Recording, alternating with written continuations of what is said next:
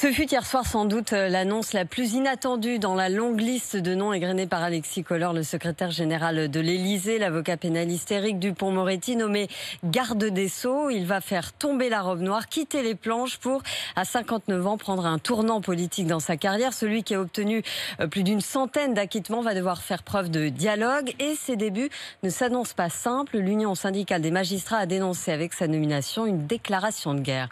Aurélia Manoli.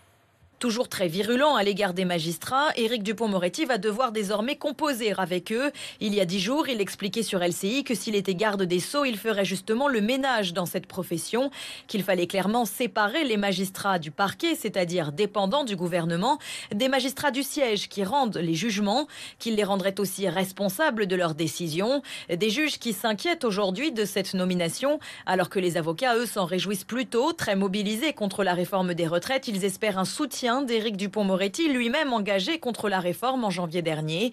D'autres dossiers entamés par Nicole Belloubet l'attendent, la création d'un nouveau code de justice pénale pour les mineurs, ainsi que la réforme du droit pénal de l'environnement. Elle est la première à avoir pris ses